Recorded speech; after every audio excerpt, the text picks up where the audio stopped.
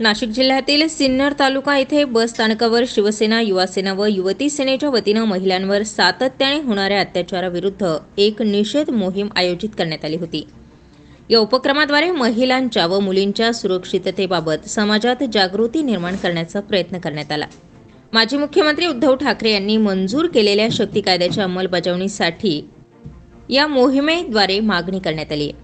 सिन्नर बस स्थानकात तसेच शाळा महाविद्यालय अशा ठिकाणी महिलांच्या व मुलींच्या सुरक्षिततेच्या प्रश्नावर शक्ती कायदा त्वरित लागू करण्यात यावा. यासाठी ही स्वाक्षरी मोहीम राबविण्यात आली. या मोहिमेत महिलांच्या व मुलींच्या सुरक्षिततेसाठी ठामपणे उभे राहणारे अनेक नागरिक महिला ज्येष्ठ नागरिक युवक युवती तसेच युवती सेनेच्या पदाधिकारी सहभागी झाल्या. स्वाक्षरी मोहिमेद्वारे मोठ्या प्रमाणात ज्येष्ठ नागरिकांनीही तसेच महिला पोलीस कर्मचारी महिला बसवाहक यांनीही आपला पाठिंबा दर्शवला. कायद्याची अंमलबजावणी लवकरात लवकर व्हावी अशी मागणीही यावेळी केली.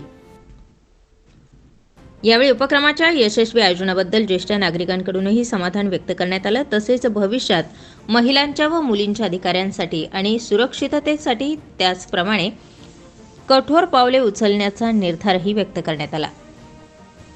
यावेळी युवती सेना जिल्हा युवती अधिकारी श्रद्धा मुठाळ तालुका युवती अधिकारी निकिता गायकवाड साधना चेचरे शिवानी बोराडे कविता जाधव साक्षी बोराडे आदी उपस्थित होत्या.